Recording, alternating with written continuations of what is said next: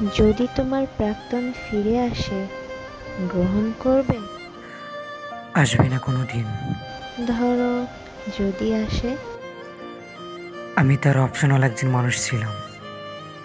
আর optional মানুষের কাছে কেউ কোনো দিন ফিরে আসে না।